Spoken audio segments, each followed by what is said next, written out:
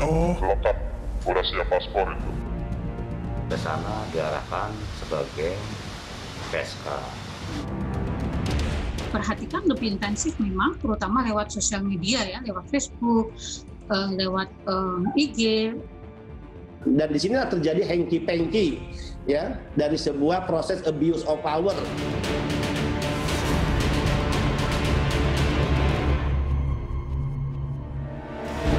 Praktik perdagangan orang di negara ini terjadi sejak lama.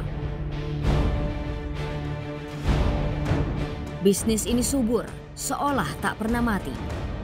Memperdaya orang, sindikat jahat bergerilya dan meraup untung.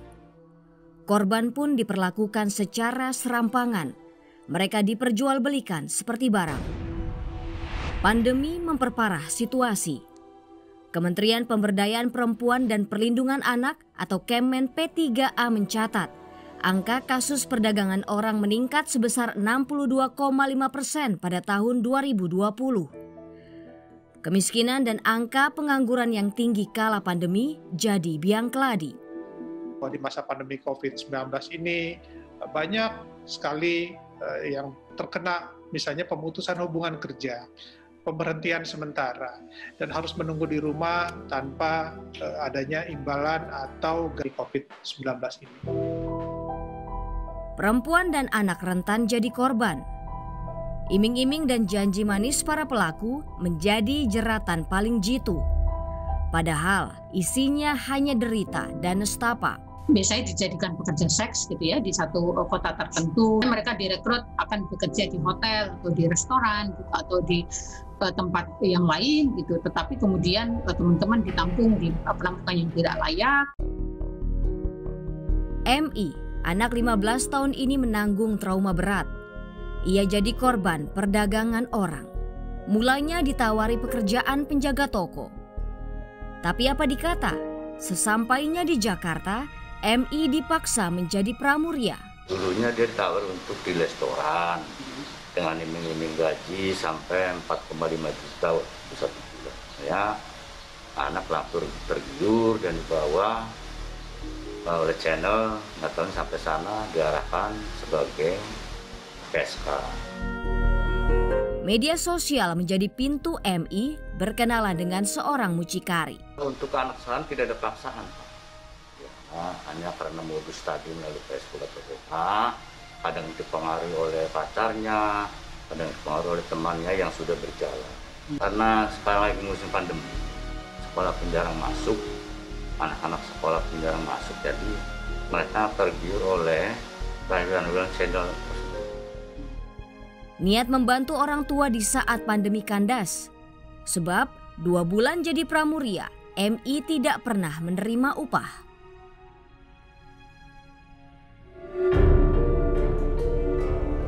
Senasib dengan MI, IA mesti menelan pahit luka karena terpaksa menjadi pramuria sedari remaja.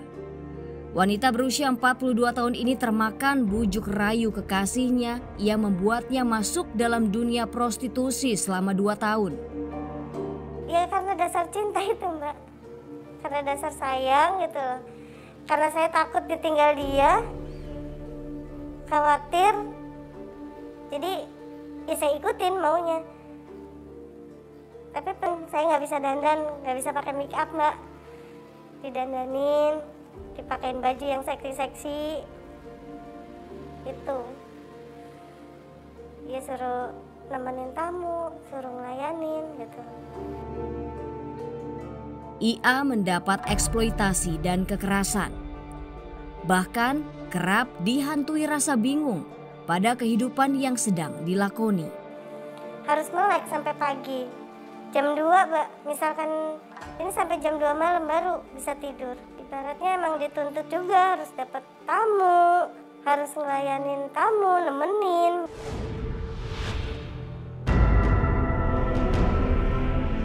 Februari 2021, Polda Metro Jaya meringkus 15 tersangka sindikat perdagangan orang yang kerap menjual perempuan dan anak. Eksploitasi perempuan dan anak terjadi berulang kali. Tahun ke tahun, kasus muncul dengan beragam modus. Tak pernah jera, sindikat perdagangan orang terus mencari mangsa. Bentuk perdagangan orang beragam, yakni perdagangan orang, eksploitasi seks komersil, eksploitasi perbudakan domestik, kerja paksa, perkawinan paksa, penculikan anak, perdagangan anak termasuk adopsi ilegal. Rayuan hadir dengan berbagai cara supaya korban masuk dalam jebakan trafficker atau para pedagang manusia. Padahal sekali terjerat, korban bakal sulit keluar dari cengkraman para sindikat. Meski Korps Bayangkara sudah menindak tegas pelaku perdagangan orang, tapi toh praktik human trafficking masih nyata ada di Indonesia. Itu KTP, kakak, semuanya Oh, lengkap. Udah siap paspor itu.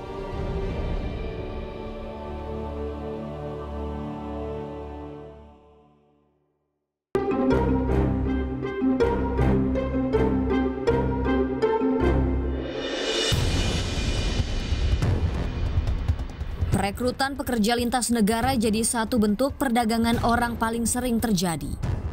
April 2020 hingga 2021, Badan Perlindungan Pekerja Migran Indonesia melakukan 17 kali penggerbekan. 679 manusia berhasil diselamatkan. Hari ini Indonesia dalam keadaan darurat penempatan ilegal pekerja migran Indonesia. Setiap hari kita berhadapan dengan kasus-kasus di mana mereka yang saya sebut sindikat mafia tetap bekerja untuk menempatkan pekerja migran Indonesia secara ilegal. Dalam menjerat, sindikat biasanya memikat dengan beragam cara agar calon korban tertarik. terbujuk, eh, dibujuk rayu, diiming-iming, eh, dijanjikan gaji yang besar, fasilitas yang baik, mendapatkan pekerjaan yang instan, sehingga eh, sangat mudah mereka eh, terbujuk rayu untuk mengikuti eh, apa, bujukan dari orang-orang yang tidak bertanggung jawab. proses berangkat em, itu mudah gitu. Jadi nggak punya dokumen apa-apa gitu, even bahkan nggak punya KTP nggak apa-apa nanti dibuatkan. Jadi eh, KTP, KK, paspor itu dibuat dengan data yang eh, palsu. Cara yang digunakan sindikat perdagangan orang semakin berkembang. Media sosial jadi salah satu upaya untuk menarik calon tenaga kerja secara ilegal. Kan lebih intensif memang, terutama lewat sosial media ya, lewat Facebook, eh, lewat em, IG eh, maupun sosial media yang lain gitu, menawar pekerjaan, eh, gaji tinggi gitu. Sudah menempatkan tetapi ke negara yang masih sangat terbatas. Tim Berkas Kompas menelusuri lowongan kerja yang berseliweran di dunia maya. Satu akun yang kami jelajahi menyodorkan tawaran menggiurkan. Gaji selangit serta ragam keuntungan bekerja di luar negeri. Berdasarkan alamat yang tertera di laman media sosial, tim berkas Kompas datang ke kantor yang mengklaim agen penyalur TKI ke luar negeri. Tapi ternyata kantor itu telah lama tutup. Seorang warga membenarkan kompetensi agen yang menurutnya kerap menyalurkan pekerja. Ia lantas memberi nomor telepon si penyalur. bisa bantuin bu Nah, boleh. enggak maksudnya bapaknya itu Oh, mas itu saya hubungin dulu. Caranya enggak nanti kalau misalkan saya telepon bisa bantuin. Oh, bisa. PN si penyalur mengaku sebagai penyuplai resmi TKI ke negeri Singa yang memiliki BLK, Balai Latihan Kerja di Tasikmalaya. Hari Senin saya ke sana, doakan eh, sekalian keberangkatin berapa orang dua orang banyak aja prosesnya gimana. Jadi biar tidak nggak dikata saya bohong gitu. Ya kita harus bisa bahasa Inggris harus ya. Tapi kalau memang kurang lancar, mungkin kita arahkan ke majikan yang di sana. Tanpa basa-basi ia mengaku bisa membantu memalsukan identitas agar keberangkatan ke Singapura tak terhambat. Biaya sebesar 800 ribu hingga 1 juta rupiah dipatok. Hingga kan ada keluarga, ada PRT-nya, dan nah, siapa tahu bisa minta tolong sama dia membuat tapi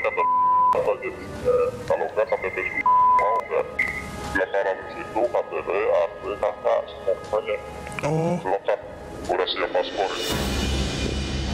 Dua hari berselang, PN menjadwalkan untuk melakukan wawancara. Langsung dengan agen Singapura via panggilan video. kamu belum belum nikah kan? belum Peranan. belum pak belum jadi dia kamu siap untuk tombol sama bayi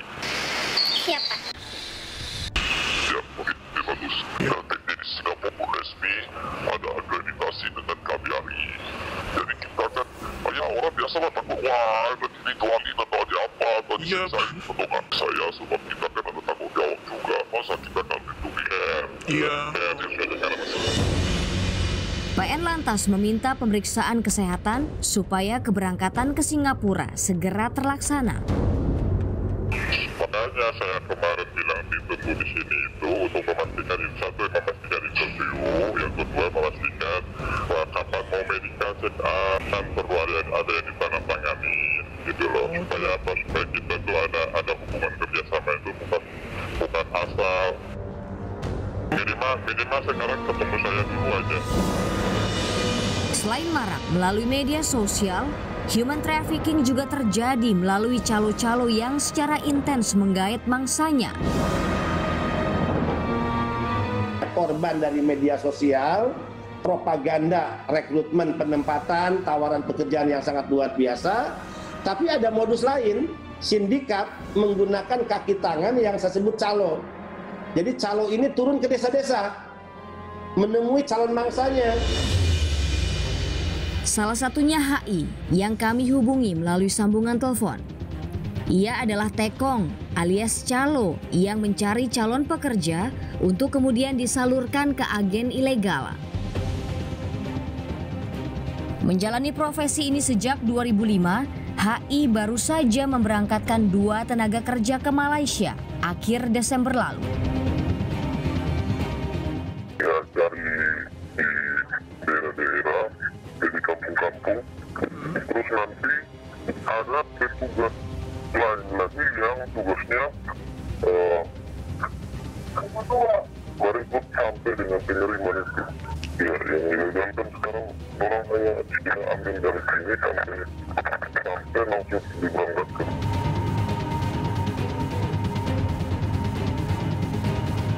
Tidak sulit bagi HI menemukan orang yang mau bekerja di luar negeri secara ilegal. Dari satu tenaga kerja yang ia rekrut, upah sebesar 2 juta rupiah diterimanya. yang yang resmi itu eh, memuaskan mudahnya datang ya yang yang mau kerja dia eh, setuju dia mau bisa berangkat langsung Hmm. kita tinggal sampaikan saja di orang yang dia urus itu oh, ada satu orang mau berangkat orang hari itu juga dia bisa berangkat Masuk dalam lingkaran human trafficking, korban dipastikan bakal sulit keluar dari kontrol para mafia. Hampir dipastikan sindikat perdagangan orang memanfaatkan kerentanan korban sebagai pengikat. ketika check up mereka ditelanjangi dengan secara tidak eh, layak begitu layaknya orang medikal gitu kemudian difoto dan itu dipakai sebagai alat gitu ya untuk eh, me- me- me- membuat posisi korban itu eh, lemah gitu. Hitung-hitungan BP2MI, pekerja ilegal tidak mendapat gaji selama 8 hingga 10 bulan karena lilitan hutang. Ya, mereka punya strategi memberikan uang 5-10 juta kepada keluarga dari calon PMI yang akan berangkat dengan alasan biaya hidup. Si calon ini merasa ya ada dewa penyelamat, ada malaikat, ada sinterklas yang sesungguhnya uang-uang itu diakumulasi menjadi hutang. Itulah praktek ijon rente dengan bunga 27 sampai 30 persen, ya mereka harus membayar sebesar 45 juta. Buayan kesuksesan jadi TKI dengan jalur tak resmi bahkan bisa menghantarkan kita jadi pelaku perdagangan orang. Biasanya korban akan tidak sadar bahwa uh, mereka itu adalah korban, uh, bahkan mencoba mencari rekan-rekannya, teman-temannya, Uh, dengan uh, ajakan, bujukan, iming-iming, rayuan dan sebagainya sehingga mereka tidak sadar sebagai korban dan juga sebagai pelaku tindak pidana perdagangan orang. Lantas, di mana negara kala melihat rakyatnya terjerembab, terjerumus dan terjebak dalam perdagangan orang?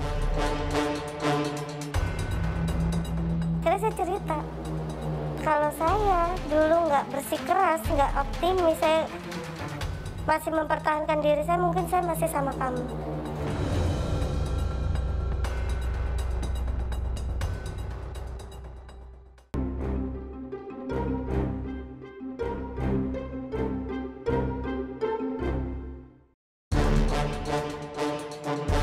Seiring meningkatnya kasus tindak pidana perdagangan orang, Pengejaran terhadap sindikatnya gencar dilakukan. Februari lalu, Polda NTB membekuk dua orang calo penyelundup pekerja migran Indonesia asal NTB ke Turki. Para tekong ini menawari korban bekerja di Abu Dhabi dengan gaji 4 juta rupiah per bulan. Tapi pekerja malah dikirim ke Turki. Bergabung dengan ratusan pekerja lain di kantor agensi untuk disiapkan jadi asisten rumah tangga. Dari satu pekerja yang berangkat, para tekong ini mengantongi upah puluhan juta rupiah. Penuh iming-iming, tergesa-gesa dan tanpa melewati prosedur resmi, jelas merupakan buayan khas sindikat perdagangan orang. Perbudakan modern menanti para pekerja yang mengikuti prosedur tak resmi.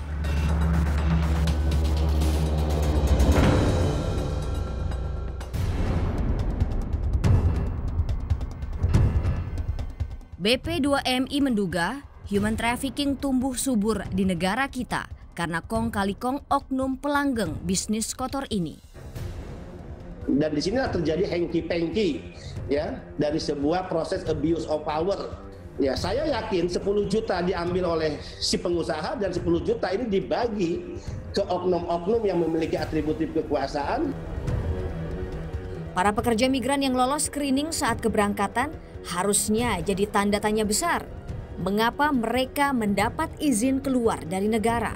Check-in itu kan harusnya tidak boleh grouping. Ketika masuk pemeriksaan imigrasi, hanya menunjukkan tiket keberangkatan pasti imigrasi harus mengambil tindakan pencegahan. Sehingga jika mereka dengan modal visa turis tapi hanya mampu menunjukkan tiket keberangkatan tapi diloloskan, maka saya yakin dan katakan pihak penerbangan bagian dari sindikat kejahatan, oknum-oknum di keimigrasian bagian juga dari apa sindikat kejahatan itu sendiri. Tapi bukan berarti pekerja yang berangkat melalui prosedur legal luput dari human trafficking.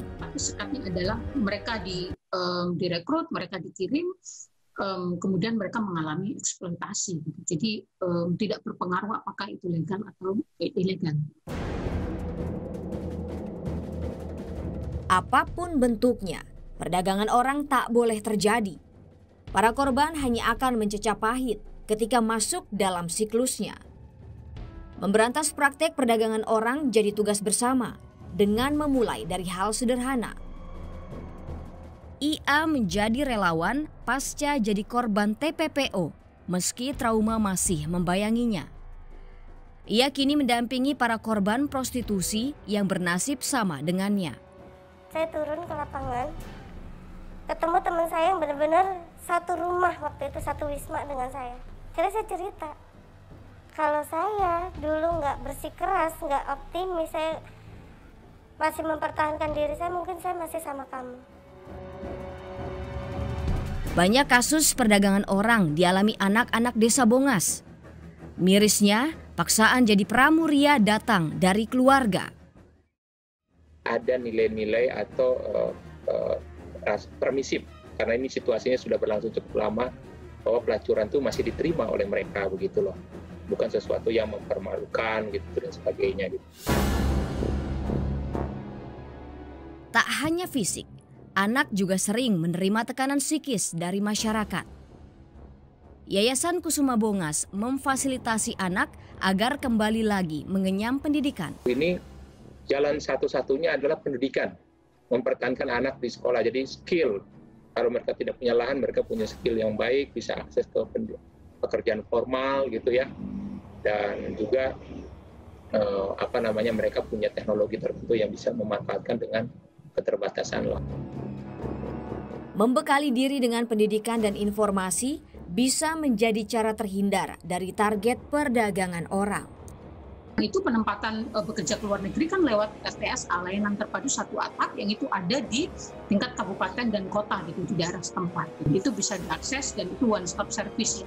Ada imigrasi ada catatan sipil ada kesehatan itu tidak dipungut biaya. Jadi hati-hati kalau ada perekrutan pekerja migran yang itu membebankan biaya kepada calon pekerja migran maupun anggota keluarganya hampir bisa dipastikan itu adalah penipuan dan mungkin dugaan besarnya itu adalah sindikat TPPO.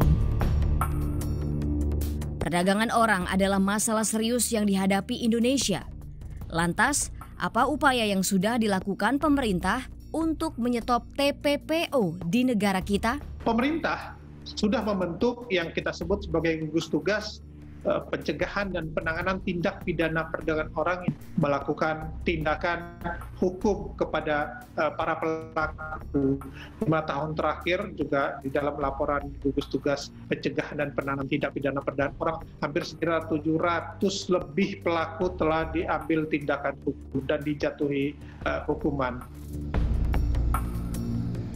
Kolaborasi antar lini mesti terjalin baik sehingga sindikat jahat tidak mampu lagi menjebak dan menjerat.